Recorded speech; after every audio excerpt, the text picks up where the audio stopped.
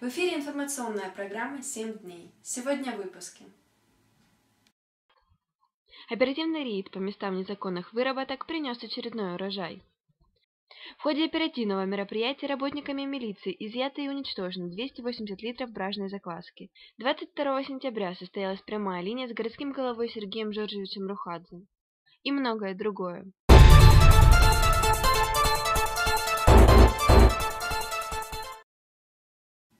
В середине 90-х копанки стали символом экономического падка Донбасса.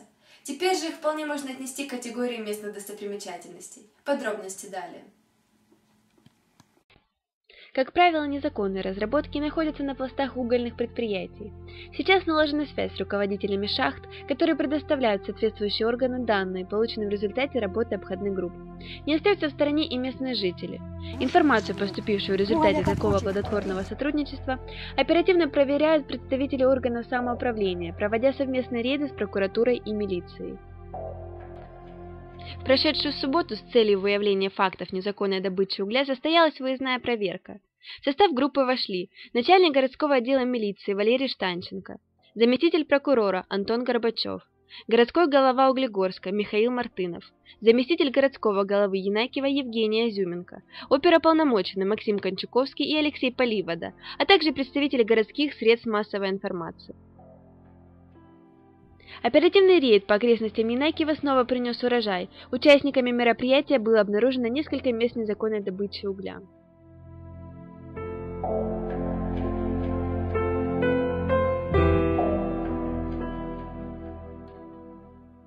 Однако никакие работы ни на одной из посещенных участниками рейда нелегальных шахт не велись. Они вообще вроде как начали работать, а потом и закрыли их до Дня Шахтера. Они уже до Дня Шахтера не работали, и после Дня Шахтера они не работали. На одной из дыр, видимо, завидев нас, обедающие сторожа, побросав продукты столовой принадлежности, поспешили скрыться. О прерванной трапезе напомнил лишь закипающий на костре чайник. Поэтому, чтобы черные бизнесмены не вернулись сюда снова, представители власти пообещали в ближайшее время засыпать выработки.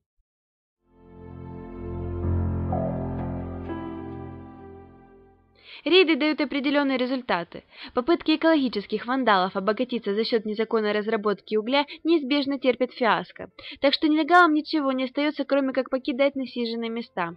Но сказать о том, что вся территория, принадлежащая Янакивскому региону, на сегодняшний день полностью очищена от черных старателей, пока нельзя.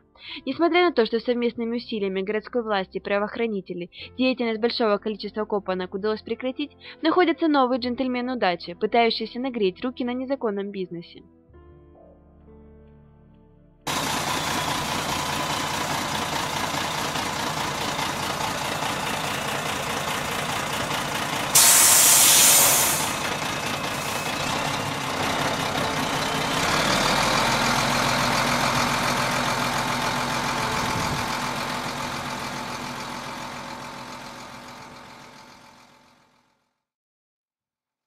Обещание представителей власти о том, что обнаруженные во время рейда копанки будут засыпаны, выполнено. Ранним утром во вторник в местах незаконных выработок уже вовсю работала техника.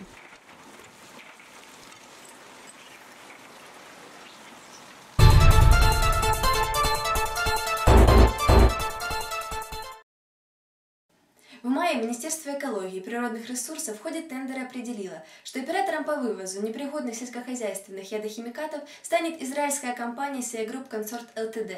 Как проходило мероприятие по вывозу ядохимикатов в поселке Савельевка в нашем следующем сюжете. В прошлом году в нашей стране стартовала программа очищения регионов страны токсичных отходов, разработанная по поручению президента Украины Виктора Федоровича Януковича. Предполагалось, что от химической бомбы освободят и Янакиевский регион. Здесь в полуразрушенном складе совхоза «Октябрьский» уже более 30 лет хранится большое количество сельхозудобрений. Однако средств для благих целей сразу не нашлось. Из госбюджета в прошлом году были выделены миллионы, но даже их не хватило, чтобы провести утилизацию по всей стране. До Савельевки очередь дошла лишь сейчас. И распоряжением городского головы вот создана Да, комиссия. распоряжением городского головы создана комиссия.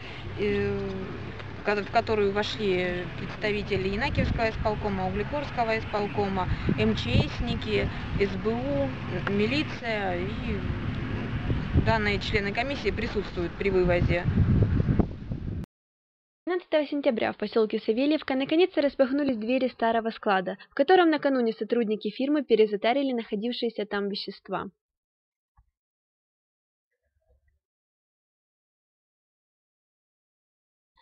Подойдя ближе к дверям склада, участники мероприятия почувствовали резкий химический запах, от которого стало першить в горле. Согласно имеющимся документам, здесь хранится всего 280 кг различных удобрений. В действительности на складе оказалось более двух тонн. Вывозом и погрузкой занималась израильская компания CI Group Consort Ltd. И больше в нашем городе э, таких объектов, э, такого складирования химических каких-то отравляющих веществ нет. Ну, это не отравляющие, вы неправильно понимаете, что э, в том количестве, в котором они есть, они как, как удобрения использовались.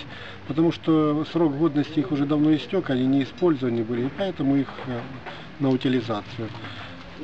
А так, в малых количествах они использовались как удобрения.